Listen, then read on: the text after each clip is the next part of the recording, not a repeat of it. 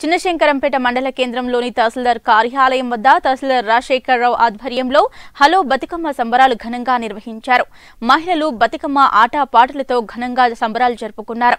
అనంతరం తహసీల్దార్ నాగేశ్వరరావు మాట్లాడుతూ తెలంగాణ రాష్ట్రంలో సాంప్రదాయ పద్ధతిలో పూలతో బతుకమ్మను తయారు చేసి పిల్లలు చిన్న పెద్ద తారతమ్యం లేకుండా సంబరాలు జరుపుకోవడం ఆయన అనవాయితీగా వస్తుందని బతుకమ్మను గౌరమ్మగా పూజిస్తారని ఆయన తెలిపారు.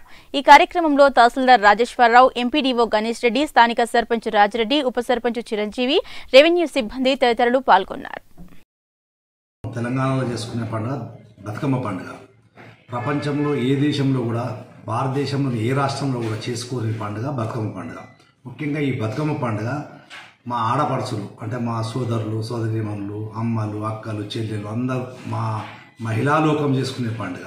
ముఖ్యంగా ఈ పండుగ ఎట్లా చేసుకుంటారు అంటే ఈ పండుగ వచ్చింది అంటే ప్రతి ఆడపిల్ల తన తల్లిగారింటికి పోవాలని ప్రతి మనవరాలు తన తాత దగ్గరికి పోవాలని చాలా సంతోషంగా కొత్త బట్టలు వేసుకొని చేసుకునే పండుగ. ఎవరైనా ప్రపంచంలో ఏ పూజ చేసినా పువ్వులు దేవునికి పూజ పెట్టి పూజ చేస్తారు. కానీ ఈ తెలంగాణ సంస్కృతిలో ఈ బతుకమ్మ పండుగ పువ్వుకు పూజ చేస్తాం.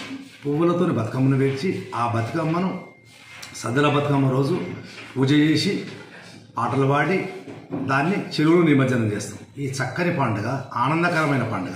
ఈ పండుగ సందర్భంగా నా ఆడపడుచులందరికీ ఒక తహసీల్దార్గా నేను శుభాకాంక్షలు తెలుపుతున్నాను. దానిలో భాగంగానే మా తహసీల్దార్ కార్యాలయం శంకరంపేట ఆరు మెగాలు ఘనంగా బతుకమ్మ ఉత్సవాలు చేయడం జరిగింది.